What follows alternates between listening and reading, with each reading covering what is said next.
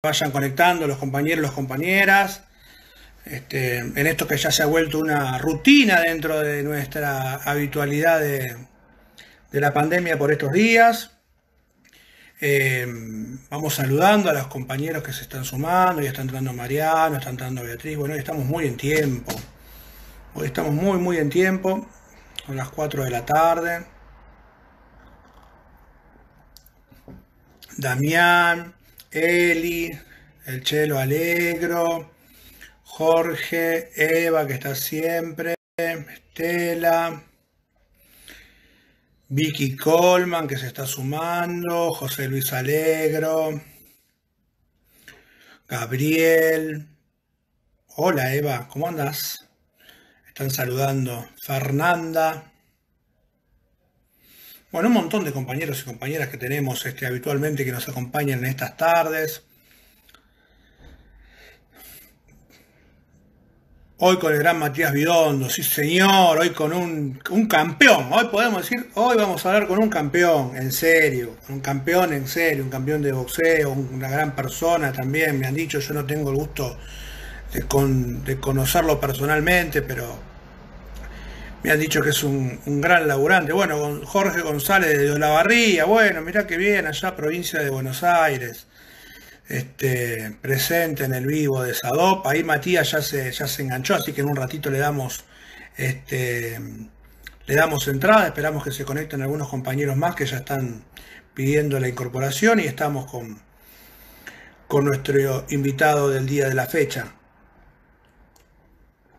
Bueno, Raquel Moya, que está ahí también. Hola, Raquelita, ¿cómo andás?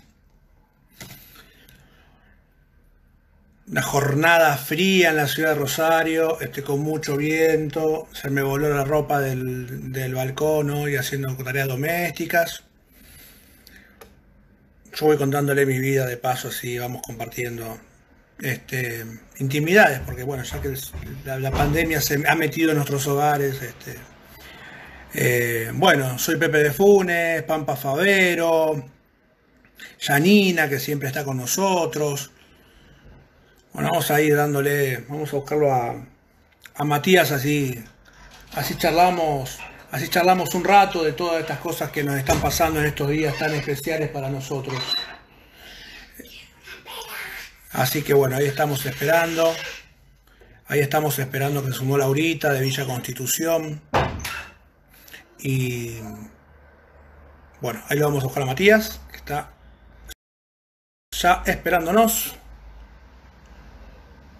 Ahí lo agregamos.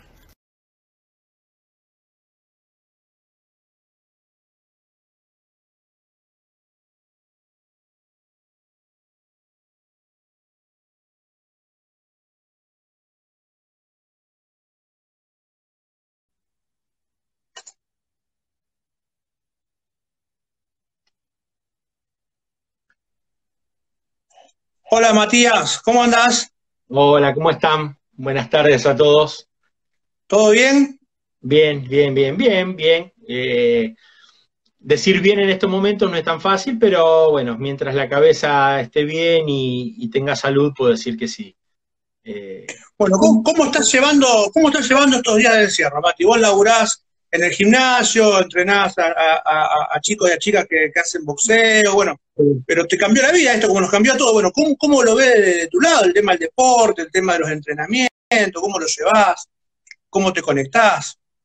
Bueno, eh, es muy difícil porque eh, al principio yo me planteé, hay muchas, muchos eh, gimnasios que empezaron a dar clases online y, yo me planteé a ver cómo, qué forma podía ayudar a los alumnos pero este es un deporte muy, muy particular, muy característico. Yo no, puedo dar eh, boxeo online. Primero que no vivo en el gimnasio, vivo en mi casa y, es muy difícil. Después, eh, es un deporte muy técnico, eh, necesitas los elementos. es lo mismo que darle a un futbolista, decirle, bueno, vamos a hacer fútbol. No podés hacer fútbol en el living de tu casa. Podés hacer una preparación, o rugby, vos que sos jugador de rugby podés hacer una, preparación física, una entrada en calor para que esté su cabeza un poquito bien. Algo mínimo para moverse, pero bueno, la realidad también es que mis alumnos saben cómo es la entrada en calor. entonces, yo, viste, trato de estar conectado con ellos de manera, eh, con, alguna historia o alguna cosita o, con videos eh, de cuando entrenaba yo o alguna cosa para, para mantenernos cercanos, conectados, que, porque el aislamiento es difícil, pero eh, mucho más que eso, desde mi lado, no, puedo hacer. Y el otro día justamente hice una charla también en vivo con mi, mi entrenador, además preparador físico, un, licenciado en educación física, especialista en entrenamiento de la fuerza, en deporte de combate, un tipo acostumbrado al entrenamiento de alto rendimiento. Y, y concordábamos con esto, estamos de acuerdo en que es muy difícil para nosotros, y más para un deporte como el nuestro, en darlo de esta manera online. Eh, aparte hay otra cosa, eh, cada, cada ejercicio requiere su técnica, y yo no puedo a vos decirte, bueno, sentadillas. claro, te puedes lastimar, eh, hay, hay, hay, muchos riesgos que la gente no los ve o no, o no lo sabe, y bueno, también está eh, la responsabilidad del, entrenador en tomar eso y decir, bueno, eh, mucho más que esto no puedo hacer más que hablarnos y, sentirnos. No vender humo, no vender humo. Y bueno, básicamente yo soy un boxeador y en el boxeo no hay humo, vos subís y te cagas a trompada y gana el que pega más o el más inteligente, no, no, no hay muchas vueltas en esto. Pati, vos te viniste a Rosario a estudiar medicina. Sí, eh, yo me vine a los 20 años de Neuquén, yo tuve un, tuve un paso fallido por La Plata, dos años en Neuquén, no sé cómo será ahora, porque yo ya me fui hace 22 años de, mi casa allá, pero cuando yo me terminé la secundaria en Neuquén, era muy común, muy común irse para Buenos Aires o para La Plata. Mis hermanos más grandes habían estudiado en La Plata, entonces yo me fui allá. Un ingreso muy duro, eh, muy injusto, porque me, dieron matemática, física y química, todo lo que yo no, nunca aprendí en la secundaria, porque no me lo dieron, logaritmos, cosas complicadas me la daban para ingresar a medicina. A mí no me gusta, nunca me gustó la matemática, la física y, bueno, la química sí, pero matemática y física y menos matemática. Eh, y bueno, me partieron como un queso, volví a Neuquén, eh, trabajé, he trabajado de todo, ¿eh? Repositor, carnicero, vendedor de autos, vendedor de ropa, eh, he hecho de todo. Volví a La Plata, me, fue me volvió a ir mal, inclusive ese año éramos 2.500 ingresantes y entraron de, porque vos tenías un examen y un recuperatorio en el examen entraron dos, de 2.500 entraron dos personas. Fue terrible. Fue, fue famoso ese examen, fue muy famoso. muy famoso, porque la, Universidad de La Plata era más o menos, ¿vos cuántos años tenés? Yo 43. Claro, yo tengo 42, ¿eh? somos de la misma época. Cuando yo empecé a estudiar acá así en Rosario, este, los exámenes de La Plata eran famosos porque eran crueles, o sea, eran todos los días en los diarios, en febrero, marzo, que dejaban un montón de gente. Era durísimo, y era, y la realidad que ahí no había una cuestión de nivelación, no, era, era, era vamos a tener que meter a tanta gente, entonces te la, manejaban con, los recuperatorios, el, examen era, era tal, después el recuperatorio lo elevaban y no, no, entraba nadie, o sí. Bueno, no me fue bien, me volví a Neuquén, eh, trabajando, fue difícil y ese año mi mamá averigua eh, con los medios que teníamos en ese momento, porque no existía internet, nada todavía, y que acá en Rosario había un curso de nivelación, era difícil el primer año, era duro anatomía, era muy duro anatomía, pero... Era la, era, la, saca, estudiante de anatomía, me acuerdo. no sé a día de cómo sea, pero en su momento era, era durísimo. Era durísimo. Yo, yo rendí 22 parciales con recuperatorios incluidos en, primer año con eh, histología, biología, medicina social y anatomía, rendí en total 22 parciales. creo que eran tres o cuatro o cinco parciales de cada materia, más algunos recuperatorios, 22 parciales. fue duro, pero me fue bien. Y, eso, con el boxeo, ¿cómo iba? Digamos, vos ya, habías, ya, venías entrenando desde Neuquén, este, ¿cuándo arrancaste a entrenar? ¿Cómo fue la, vida de la facultad y, los, primeros pasos en el boxeo? Bueno, yo eh, desde chiquito que siento el boxeo como parte mía. Yo siempre digo que nací siendo boxeador, creo que los boxeadores nacemos siendo eso. Y mis viejos nunca me dejaron, de hecho, a los 7, 8 años era un pibito revoltoso, eh, que le costaba concentrarse, que ahora dirían que tengo algún trastorno, pero en ese tiempo eras, un hijo de puta. Entonces me mandaron, a hacer artes marciales. Eh, he hecho todos los deportes, ¿eh? jugué muchos años al fútbol, eh, jugué al vóley, estuve en la selección nacional de vóley, estuve en la selección nacional de boxeo, pero después nadé, remo, he hecho todos los deportes porque soy un deportista nato, de nacimiento, y mis viejos siempre me, llevaron a eso. Pero nunca me dejaron boxear. Y bueno, hasta los 20 años que me vine acá, yo hacía 12 que hacía artes marciales y paralelamente jugaba al vóley. Mi segunda casa en Neuquén era el CEF número uno, el Centro de Educación Física, que está cruzando la calle. Entonces yo vivía ahí. En la escuela siempre me fue bien, fui un tipo aplicado, nunca tuve problemas y, mi vida era el deporte. Me vine acá y estuve un año jugando al vóley en, la UNR, que tengo unos recuerdos muy lindos. Y después, bueno, eh, iba a un gimnasio, yo trabajé en un bar a la noche, que iban unos dueños de un gimnasio, y un día, acostumbrado a ver a, los, parroquianos, a los clientes, me dice, che, Mati, ¿por qué no venía al gimnasio? Nunca me gustaron las pesas a mí. Y no me olvido, pero sabes que no me olvido más de eso que me dice, ven al gimnasio. Le digo, la verdad que no tengo plata para ir a un gimnasio. Eh, mi juventud acá fue bastante eh, limitada. En cuanto, viste, mis viejos me mandaban guitas, yo los ayudaba trabajando, pero no es la, realidad. Vida de estudiante, vida del estudiante que viene de afuera. Eh, sí, no es la vida de ahora, ha cambiado mucho, los tiempos han cambiado mucho. Y bueno, empecé, porque estos chicos me invitaron y empecé al gimnasio que en ese momento se llamaba La Bajada, que previamente fue La Máquina, La Bajada Sargento Cabral. yo iba, Sargento Cabral 500. Eso, claro. Entonces yo iba, mi primera clase de eh, ¿viste? Y hacía alguna cosita ahí con las pesas y después me iba arriba, que estaba el, la cuevita de boxeo, estaba el saloncito de boxeo, y entrenaba solo. Y un día sube el profesor y me ve entrenando y me dice, ¿por qué no, no, no arrancas? Eh, y me dice, ¿por qué no, no, no, no empezás boxeo? Y digo, bueno, y arranqué, hice una clase de prueba, me, gustó, y termina la clase y me acerco al profesor, le digo, él me, plantea, bueno, ¿te gustó? Y le digo, mira, eh, si me entrenás para pelear, yo sigo, si no, no me interesa. Porque la realidad es que nunca hice nada eh, sin un objetivo. La verdad que yo nunca corrí para estar más flaco. Yo corría porque quería correr una maratón o porque siempre me puse objetivos. Y ahí arranqué a los 21, 22 años, arranqué entrenando con boxeo. Fue un desafío difícil porque yo no vengo de un palo del boxeo. Luis, quien fue mi entrenador de amateur y hasta mi última pelea, estuvo conmigo en el rincón, es como un hermano ya para mí no era un entrenador conocido, él era jurado, pero no era entrenador de boxeo, un profe de educación física, apasionado por el boxeo también. Y fue muy difícil meternos en este ambiente, que es un ambiente duro, es un ambiente áspero, muy cerrado, y nos fuimos metiendo a fuerza de, de. Escúchame, Mati, y de ahí a campeón argentino, campeón sudamericano, que algunas peleas las estuve viendo, algunas ya las había visto, pero ahora las estuve, estuve revisando, sabiendo que iba a charlar con vos. A mí me gusta, me gusta mucho el boxeo, no soy un especialista porque estoy lejos de ser, a mí me gusta, me gusta de ser hincha nomás.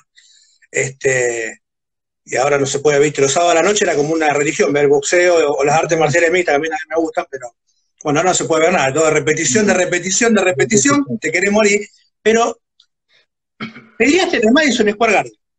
Sí, sí, ¿sabes qué fue increíble? Mira, yo empecé a boxear porque soy un, guerrero, yo, pero la vida mía ha sido eh, pelear, ¿entendés? Venirme a los 20 años acá solo, sin familia, sin parientes, sin conocidos, sin internet, eh, sin un televisor, sin nada. Empezar con una mochila de cero y empezar la facultad, como muchos también, ¿eh? No, no, no me pongo en papel de víctima, pero te cuento que, que ha sido duro.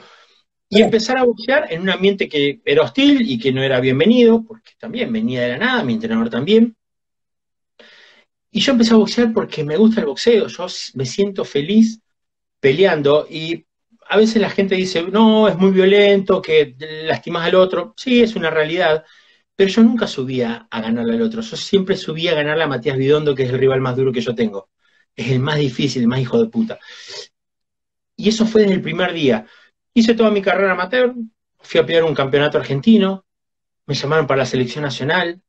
Fueron cosas que se fueron dando por por trabajo, por, por, voluntad, porque claro, porque nunca, nunca, nunca había aspirado yo. Yo lo único que quería del boxeo era pelear, era moverme como de la olla, ¿entendés? Ser un, tipo de dos metros casi, pero técnico, eh, ser rápido, eso es lo que yo quería. Y bueno, llegó un momento que ya no, no había más nadie para, para pelear eh, amateur, ya no quería pelear más nadie, había noqueado la mayoría y se hacía muy difícil. Inclusive las últimas peleas, mi entrenador me cambiaba el nombre. Yo me llamo Matías Ariel Bidondo Díaz. Entonces él ponía Ariel Díaz para ver si rival porque yo no quería pelear nadie.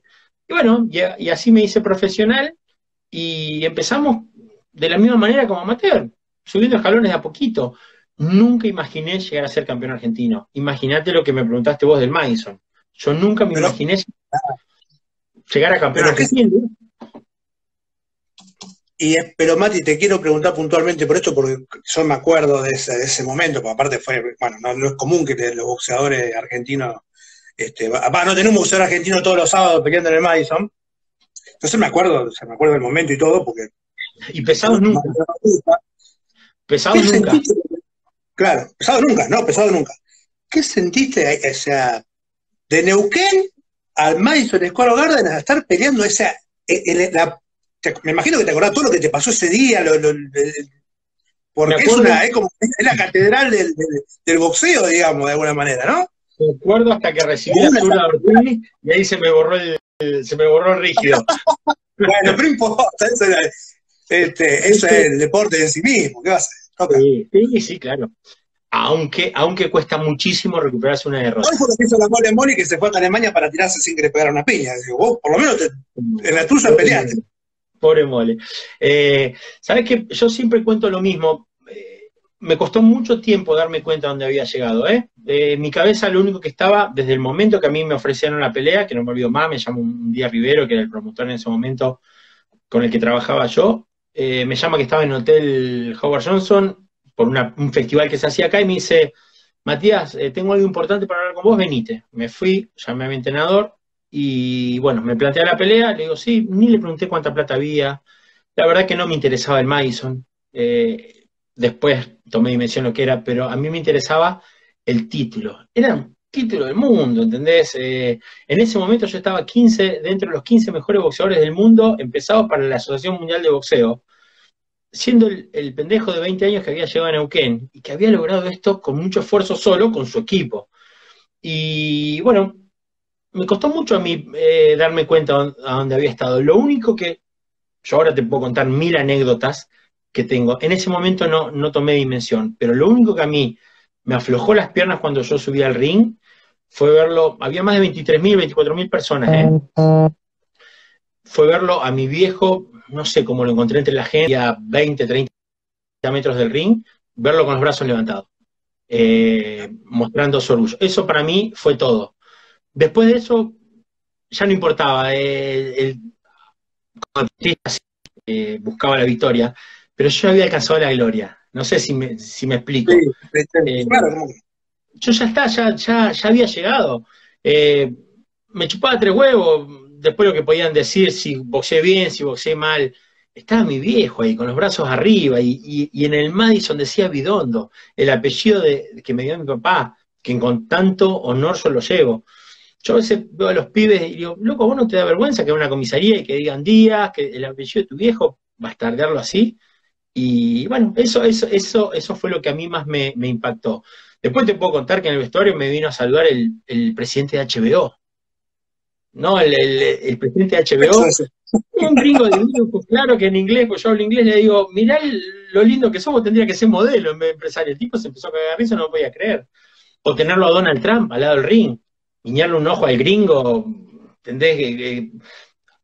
tipos muy, muy grosos, estaba Michael Fox, estaba Lennox Lewis, había eh, un montón de cosas grandes. Conocerlo a Bernard Hopkins, que es una gloria del boxeo, fue uno de los campeones más longevos, fue campeón mundial con 49 años, eh, un tipo, una historia muy dura de cárcel que se, reinventó, eh, conocerlo a De La Hoya, conocerlo a, a Roy John Jr., estar en, en una reunión con Roy John, con el, viejito que siempre sale en HBO, eh, hablando, y el, muchacho joven que está arriba del ring, y que Roy John me diga para sacarnos una foto, ¿entendés? Eh, estaba entre, entre colegas, entre pares, eso fue muy importante para mí.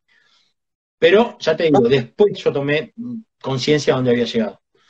Y ahora que tenés 43 pirulos y estás, bueno, trabajás mucho con chicos, con chicas ahí en el gimnasio, le enseñás, sos profe, este, te tengo que llevar para el lado de la escuela, digamos, para el lado de la educación y demás, porque vos nosotros somos un sindicato de, docentes y un montón de compañeros y compañeros que también no son maestros, maestras. Este, ¿Cómo impactó la escuela en vos, digamos? ¿Qué, te dejó la escuela a vos y qué mensaje le, le transmití vos a los chicos que trabajás todos los días desde el entrenamiento deportivo respecto al tema de los estudios? Eh, Sabes que eh, yo tengo recuerdos de la escuela, de la primaria, de la secundaria. Nunca fui un tipo eh, de hacerse muchos amigos en la secundaria. Al ser grande, a veces, viste, sos el. Y no, y aparte sos el, el blanco del bullying, porque sos el grandote al pedo, esto. Entonces tuve que ir abriéndome a. desbulinizándolos. siempre fui un tipo, en, en ese sentido bastante solitario en la secundaria, porque después vine acá y mi vida es distinta, estoy rodeado de gente, mucha gente muy querida, mucha. Eh, pero a mí el boxeo me cambió, eh, me marcó, a mí me, me, hizo superarme cada día el boxeo, cada entrenamiento que era tan duro y que decía, negro, no vas a llegar, no vas a llegar a, levantar ese peso o a hacer un round más. Y sí, y llegaba porque era una lucha constante con, el diablo que tenemos adentro, que te dice no, no, y el otro te dice sí, podés. Eh, entonces yo lo que trato de, hacer en el, gimnasio es transmitir la pasión que yo tengo por este deporte, desmitificarlo un poco, que es el deporte de los negros, violentos y delincuentes, porque de hecho tengo muchos amigos del boxeo que han tenido vidas muy duras y son grandiosas personas, y te los podría nombrar a todos, gente que con mucho esfuerzo ha salido del barro, eh, y, son muy buena gente. Entonces, básicamente lo que yo hago en el gimnasio es eso, transmitir la pasión que yo tengo y lo que te estoy mostrando en este momento con, la pasión que te estoy hablando de, este deporte. Eh, no me interesa nunca, a mí no me interesa entrenar boxeadores, eh, porque lo que yo quiero es transmitir el deporte a otro ambiente, a otro segmento, a otro estrato de la sociedad, ¿entendés? Eh, a un segmento que no llega, que, lo ve por televisión y que dice, mira, estos negros cómo están cagando a palo, y creo que el deporte este es mucho más que eso. Como el rugby. No, seguro, seguro. Pero aparte digo, yo vuelvo sobre lo mismo. Digo, los deportes de contacto, este, mal que se habla siempre del tema de. O sea, siempre la gente se queda el tema del contacto, digamos, pero en realidad son deportes mucho más leales. Porque yo me imagino cuando vos subís a un ring, o sea, yo nunca he boxeado, ni más creo que si alguna vez me he agarrado a trompada he cobrado como bestia, pero la realidad es que cuando vos subís un ring, o sea, la otra persona también está esperando que vos este, también está esperando que vos este, te, pegues y defensa. Es muy leal el deporte de contacto, es muy leal si vos sabés que el otro jugar. Es mucho más leal que venga jugando la pelota, que venga uno de atrás, que no está esperando vos, y te barre y te corte, te rompa la tibia del peroné, que el deporte, que el contacto en sí mismo es un deporte este, cuyas reglas son eso, digamos, ¿no? Sí, es aparte vos entrenás para eso. Vos entrenás para eh, invalidar al otro en, cuanto a su ataque. Eh, y este es un deporte de inteligencia. Eh, acá no, no gana el que tira más golpes, gana el que es más inteligente, el que mete el golpe cuando hay que meterlo. A veces no es solo pegar en la cabeza, hay que trabajar en otros espacios, que, en, la parte blanda, que pueden lastimar. Hay que tratar de ser más rápido, hay que tratar de no estar en las cuerdas porque cobras más. Hay, hay un montón de, de, cosas que hacen el deporte. Hay que pensar mucho, hay que pensar mucho. Cambiar los ángulos, pararse de manera distinta, digamos. Hay que, pensar mucho y muy rápido. Eh, como en la vida, porque si vos no pensás en la vida y te quedás, se te pasa. Mati, si yo le tuviera, yo tengo un nene acá que viene recién que me está pidiendo masita, pera, ya no sabe qué pedir, pobre hijo, este, porque hoy empezó a trabajar mi señora, así que estoy de papá ya full time solo.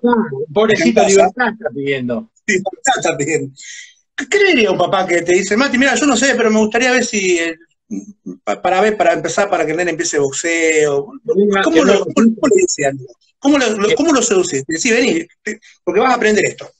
Sí, que venga con su hijo, que venga, que venga, nada más, que venga, vení con tu hijo. Primero que vas a encontrar una relación con tu hijo, vas a compartir un rato algo. Tu hijo, tu hijo va a empezar a ver que el héroe no es el profesor, es el padre que está entrenando al lado de él. ¿Entendés? Hola, campeón. Acá está. hay, hay un montón de, cosas. Este es un deporte que yo, tengo yo tengo alumnos, el Guille es 74 años. Y, ah, tengo a Mateo, y tengo a Mateo de 8, que viene con la mamá. Y le empezó a hacer, eh, eh, hacer deporte a la mamá. Y el, el nano en un, momento, en un momento dijo, no, ya no quiero ir más. Bueno, vos no vas más, pero yo sigo yendo. Y la mamá sigue yendo. Y eso es importante para un pibe también, ¿entendés? Porque los pibes ahora dicen, ay, estoy cansado, no hago más, bueno, listo, pero ves que la vida tampoco es me cansé y paro. No, no, hay que seguir. Está bueno eso también. Eh, yo, Eso, de más. Y, este, en el boxeo es muy importante, son muy importantes las esquinas, ¿no? Los rincones y, demás. ¿Qué profesor? Vos decís que te hiciste amigo, que ya es un amigo tuyo, el, te digo a la gente que te de la masita a mí, no es que esté comiendo yo, sino que está el nene entra, pide masita y le damos masita. Eh, la, esquina es fundamental porque o sea, digo, que vio la película, no sé, Rocky, que es la más famosa de los cosas, siempre la esquina es este, la persona que te moldea. Vos estás en las esquinas de los boxeadores que preparás. Este, lo, que, pasa es que, lo que pasa que yo no preparo boxeadores, no entreno boxeadores. Al único que yo entrené, eh, mi carrera fue a Tiago, que él tiene una historia particular. A los 13 años falleció su papá y, yo obtuve un rol en su vida. Y en este momento es como mi hijo, tiene 20 años y trabaja conmigo, trabajamos juntos. Y yo no tengo hijos, pero creo que el cariño por un hijo debe ser similar a lo que yo siento por él. Eh, y él por mí también. Eh, somos muy, muy amigos, muy compañeros y, y hay una relación, aparte de amistad, laboral se hace difícil, muy difícil. ¿Te, tira, a la esquina? ¿O no, si no, estoy en otra etapa, estoy en otra cosa? No, ¿sabes por qué? Porque yo soy eh, un peleador. Entonces, si vos me decís, eh, che, Mati, me hay cinco, ahí hay que pelear, vamos a pelear los cinco. ¿Entendés? Y el, el, rincón tiene que decir, no, no, no seas boludo, no puedes pelear con cinco, te van a cagar a trompada.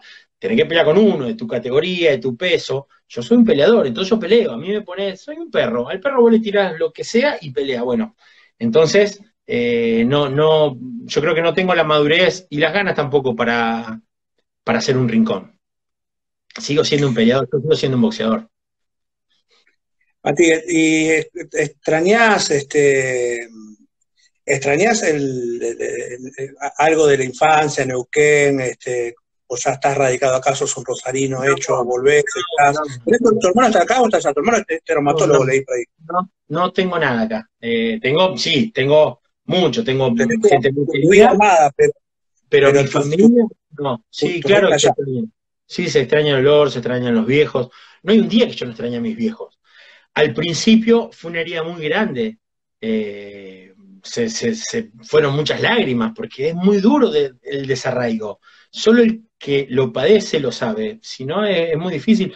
A veces la gente dice, uy, pobre los, eh, los nenitos con hambre, qué feo debe ser tener, no sabe lo que es tener hambre.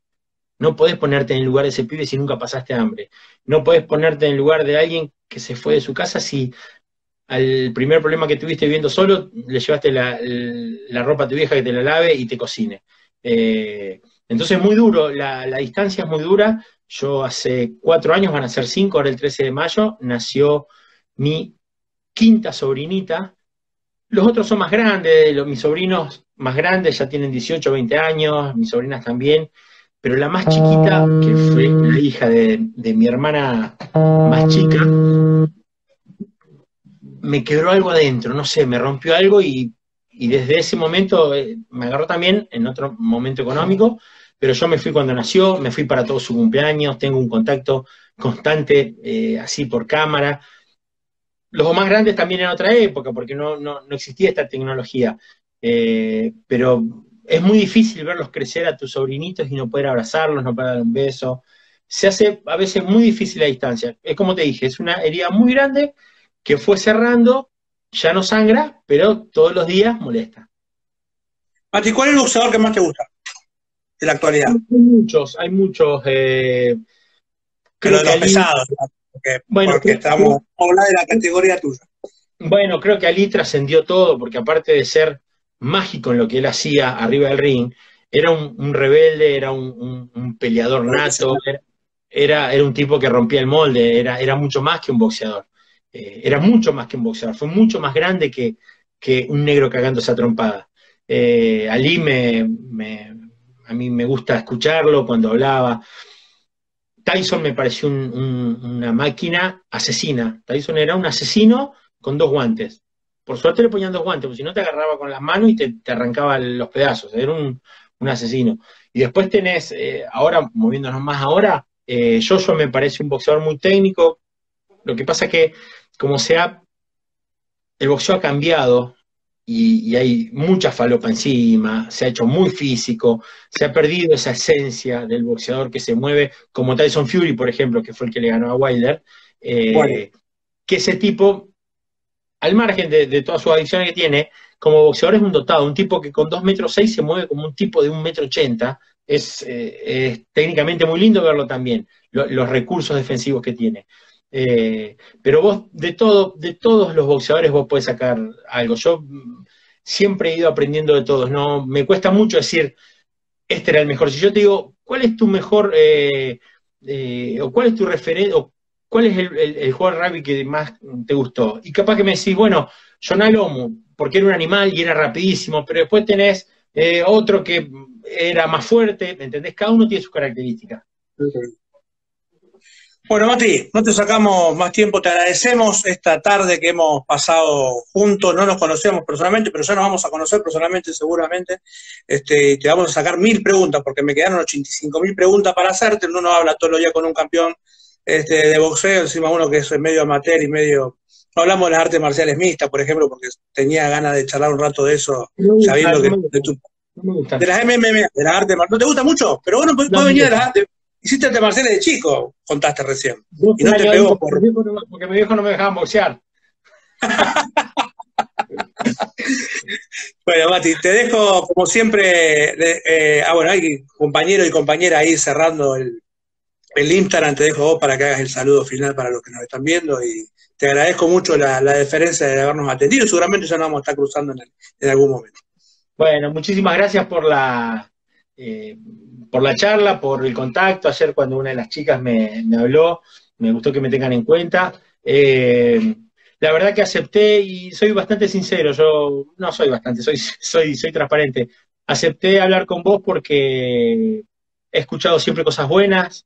Eh, como referente, yo a veces tengo algunos, algunos reparos, viste, con algunas cosas y, siempre he escuchado bueno, buenos eh, comentarios de, tu persona y, me interesó conocerte. Eh, hay un montón de gente que está saludando, los quiero saludar a todos. Y les quiero decir que tenemos que, tratar de, seguir adelante con esto. Eh, estamos moviendo, viviendo momentos muy duros. hay que salir adelante, estar medianamente juntos, cuidarnos. Cada uno, yo vi mucho, mucho, me cuido yo y te cuido vos, no, no, me tengo que cuidar yo. Si yo me cuido y el otro se cuida, nos vamos a cuidar todos, pero yo no tengo que cuidar al otro, yo me tengo que cuidar yo, para que el otro se cuide y, cada uno haga lo, que corresponde para que salgamos adelante lo antes posible esto, que es, es, bravo. Bueno, Mati, un saludo y un abrazo grande, un gusto haber charlado un rato con vos, la verdad que este, siempre es lindo conocer gente nueva. Aparte, insisto, no todos los días uno habla con un campeón y hoy hablamos con un campeón argentino, sudamericano, pero esencial. Te mando un abrazo grande. ¿eh? Muchas gracias de corazón, viejo. Un abrazo grande y un saludo a todos los que están ahí conectados. Gracias. Bueno, le agradecemos a Mati Biondo, este, campeón argentino, campeón sudamericano, este, un muchacho que se vino a estudiar, que tiene la historia de muchos de nosotros, ¿no? de muchos amigos nosotros tenemos, que han, ido, ha venido a estudiar a, la ciudad de Rosario, que se ha hecho, que un día se le fue un gimnasio, este, le gustaba el boxeo, empezó a los 20 de grande, llegó a campeón argentino, llegó a campeón sudamericano, peleó en el mismísimo Madison Square Garden, este, que es como una catedral del boxeo, eh, y como en una persona totalmente simple, accesible, sencilla, en tiempos de, en tiempos en que es necesario que todos nos acerquemos y nos miremos a las caras y nos digamos las cosas y nos contemos nuestra historia. Bueno, qué bueno este, eh, que nos hayamos encontrado con Matías, porque en un tiempo donde hay que pelearla, tuvimos un rato para charlar con una persona que como mismo se definió su